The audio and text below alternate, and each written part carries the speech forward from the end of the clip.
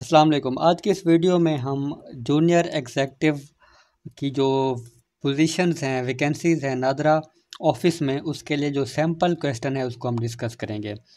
आपने अप्लाई किस तरह से करना है, कौन से डॉक्यूमेंट्स चाहिए, कब और कहाँ पे वॉक इन इंटरव्यू के लिए वॉक इन टेस्ट के लिए जाना है इसलिए तमाम सवाल हम डिस्कस नहीं करेंगे क्योंकि हम इससे पहले जो वीडियो बना चुके हैं, तमाम मालूम आपको उस वीडियो में दी गई है। इस वीडियो में सिर्फ़ हम सैंपल क्वेश्चन को डिस्कस करेंगे कि किस टाइप के क्वेश्चन आपके टेस्ट में आ सकते हैं और इससे रिलेटेड आपने अपनी तैयारी करनी है और अपने जो है टेस्ट अच्छे से देना है। तो सैंपल क्वेश्चन में पहले आपका ऑनलाइन टेस्ट होगा डाटा एंट्री पोजीशन के लिए, उसके बाद अगर किसी ने असिस्टेंट डायरेक्टर की पोजीशन के लिए अप्लाई किया हुआ तो उसका भी ये सैंपल टेस्ट मौजूद है। तो sample question for data entry position, यानी कि जूनियर एग्जेक्टिव, उसको हमने उस पोस्ट के लिए अप्लाई किया है तो उसका हम सैंपल टेस्ट देख लेते हैं।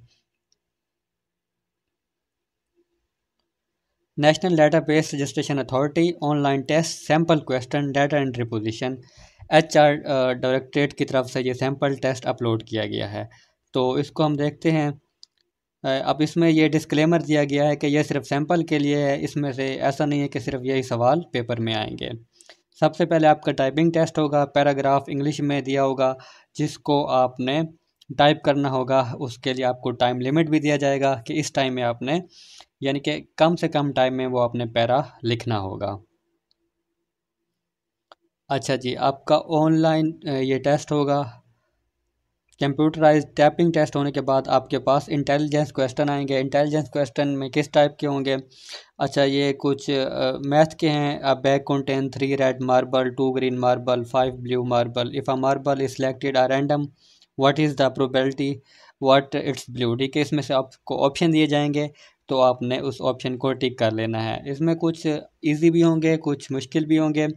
अब जैसे जे देखें कि मिसिंग सीक्वेंस नंबर है, एक एक, फिर दो, तीन, पाँच, आठ तो इसमें से जो राइट ऑप्शन इसका आएगा तेरह। क्योंकि इसमें ये गैप दिया गया है तो उस गैप के मुताबिक आठ के बाद जैसे पाँच के बाद छः, सात नहीं आया, आठ आया, इस तरह आठ गैप के बाद जो है वो उस सीक्वेंस पिछले सीक्वेंस को देखेंगे तो हमें राइट ऑप्शन का पता लग जाएगा। तो इसका राइट ऑप्शन आएगा डी थर्टीन इसके बाद आपके पास जीके के भी सवाल आएँगे जनरल नॉलेज में लार्जेस्ट प्रोविंस ऑफ़ पाकिस्तान तो बाय पॉपुलेशन पॉपुलेशन के लिहाज से पंजाब है, और जो है इसके अलावा रकबे के लिहाज से बलूचिस्तान है, ठीक है which country is known as land of midnight sun तो नॉर्वे को कहा जाता है। इस तरह के आपके पास जीके के भी सवाल होंगे और आईक्यू के भी सवाल होंगे।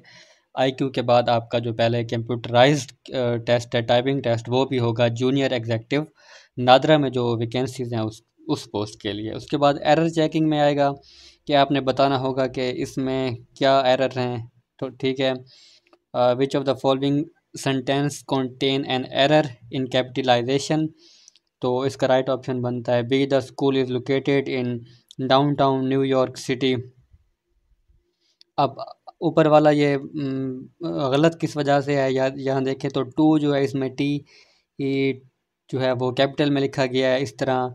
सी ऑप्शन में आई जो है वो स्मॉल लिखा गया है। हालाँकि पहला जो लफ्ज़ होता है सेंटेंस का वो बड़ा आता है तो यहाँ पे आई कैपिटल आएगा। इस तरह से they went to the beach and played volleyball, and played the volleyball, क्योंकि ये गेम है तो इसके साथ दा लगेगा, इसमें यह मिस्टेक है। इस तरह से आपको सिंपल से क्वेश्चन होंगे। जिनको आप सॉल्व कर सकते हैं। इसके बाद इंग्लिश में क्या आएगा जी? ये सरोनाइम आएगा कैंडिड का सरोनाइम मुतरद लफ्ज़ कौन सा है?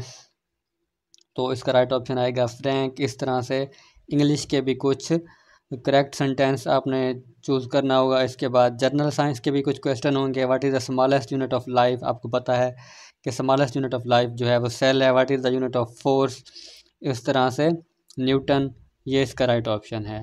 तो ये जी सैंपल क्वेश्चन था, जैसा कि मैंने आप से ये वादा किया था कि मैंने आपको बताना है कि नादरा में जूनियर एग्जेक्टिव की पोस्ट के लिए किस तरह का सैंपल क्वेश्चन आएगा। होपफुली आपके लिए इन्फॉर्मेटिव रही होगी। तो जॉब्स अपडेट और टेस्ट प्रिपरेशंस के लिए हमारे चैनल को सब्सक्राइब कर लें। मिलते हैं नेक्स्ट वीडियो में, तब तक के लिए अला